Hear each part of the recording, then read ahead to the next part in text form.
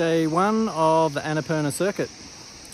So we got a bus, a dodgy old Ratley bus at 6.30 this morning in the middle of the night to um, Bahisar from Pokhara to Besishahar and it was pretty rough.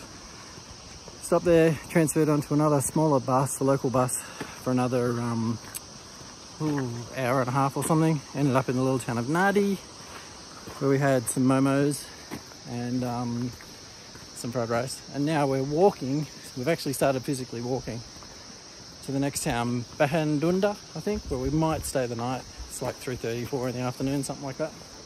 But we have officially started the Annapurna circuit.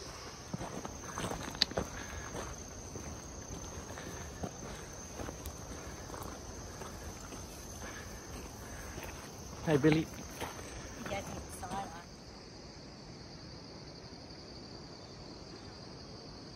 And these are rice paddies. And they've just been harvesting all the rice from what we've seen. We were on a bus with sacks and sacks full of it. Pretty cool. this is our first morning on the Annapurna. Yesterday was just a travel day up and here we are. It's uh, just a nice simple little homestay. And today we head off up the hill properly into the Annapurna circuit.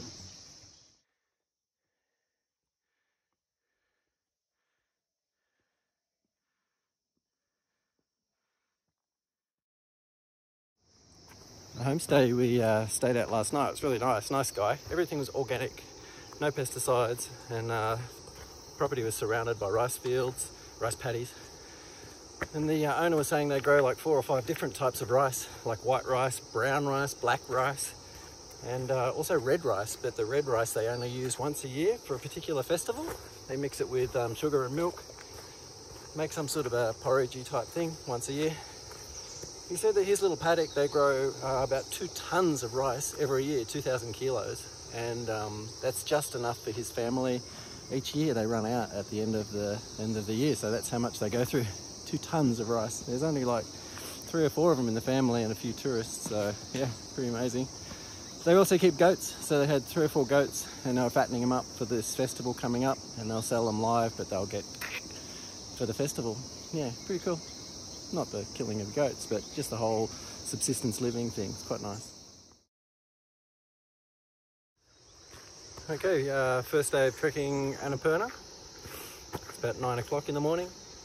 It's it's lush and uh, almost quite tropical. You can hear cicadas, lots of rice paddies. It's so different to uh, Langtang where we were. But I guess we're still down low haven't got up above the tree line, not for another couple of days yet. But yeah, it's so sticky, moist.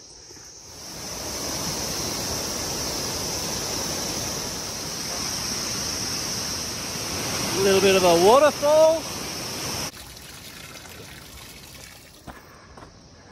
Hello, buffalo. Hello, buffalo.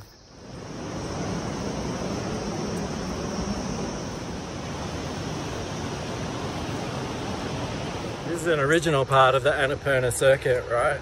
It's a narrow sort of goat track. These days a lot of people just seem to walk on the road, but uh, yeah, this is the original trail. It's beautiful.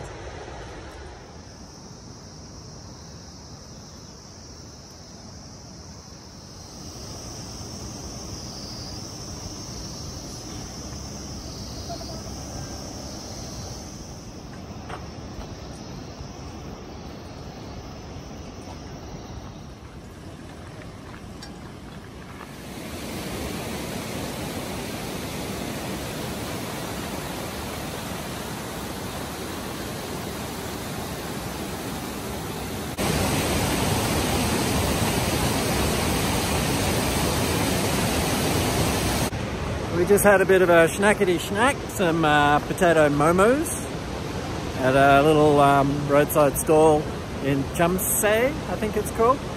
But we're now work, walking on another two and a half hours to a little town called Tal, but it's uh, quite elevated. We're going to go across a swing bridge and then climb for an hour and a half. I don't know, 500 meters or something.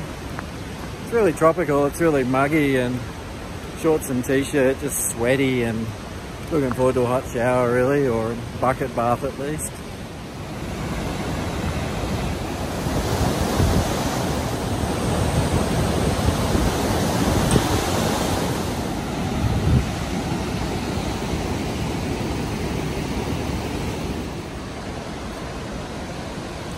We're back onto the original Annapurna circuit now, working our way up to a little town called Tal. Uh, today, probably half of our walking would have been on roads.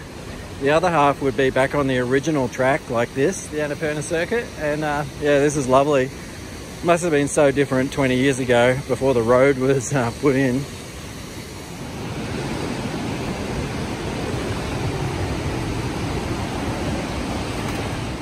There's marijuana growing along the side of the track. It's not particularly healthy, but it's, yeah, seedy heads. If you were that way inclined, there's, yeah, a bit of dope growing on the track.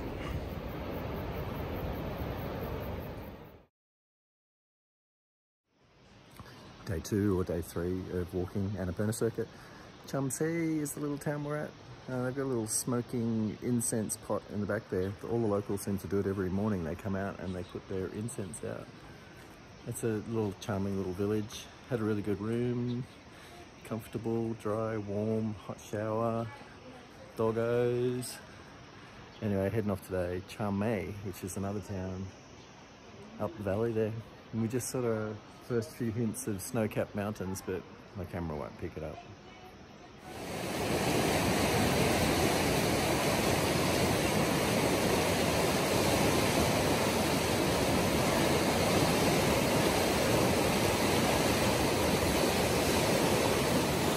First little uh, river crossing for the day. Bamboo Bridge. There's no steel in it, only the cable on each side, but the rest is all bamboo and timber.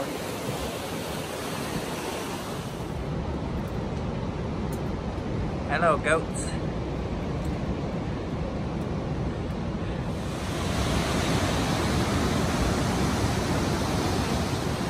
Roads here are pretty amazing. They're just carved out of the side of the cliff, basically.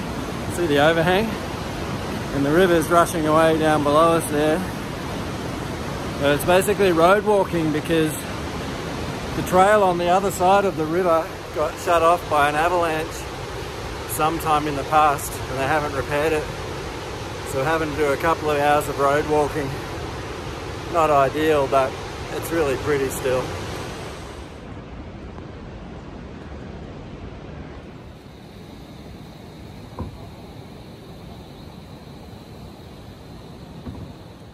They've got their firewood stacked up so neatly for the winter.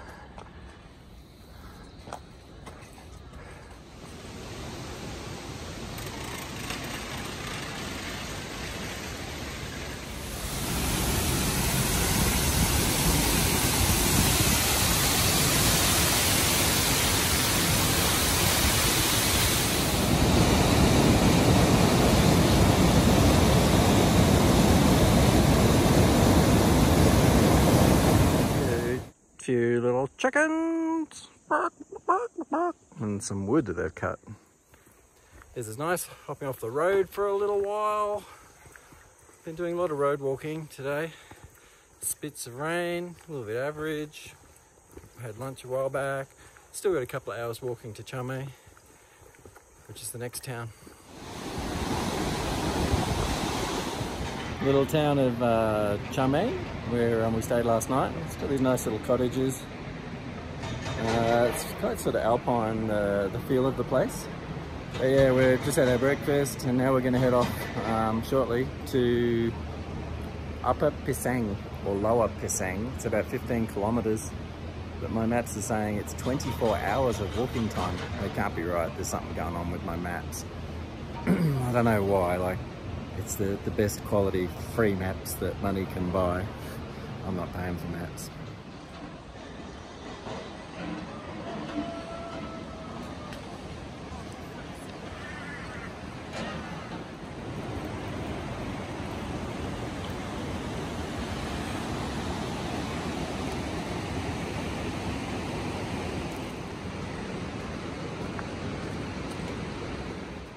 So we had about four hours of walking, five, no, four hours of walking, yeah, from Chame to this place, which is Lower Pisang. And uh, yeah, the guest house is called Bob Marley Guest House. It's pretty cool. Uh, got a free room provided we buy our um, our dinner and breakfast, which is not an issue. Nice place. Uh, across the other side of the valley there is Upper Pisang. And tomorrow we've got to walk another four or five hours all the way to um, Manang. And we're sort of hoping that there's some shops there because we really need some more clothes. This afternoon when we arrived, uh, Robin and I put on all of our clothes pretty much, including our puffer jackets that you see me wearing now, and then climbed into bed underneath two doonas. And uh, we were still cold after about an hour. So yeah, it's cold, but uh, I don't know if you can see in the background, there's snow-covered mountains. Yeah, that's why it's cold. I can't think why they call this place Bob Marley Guest House.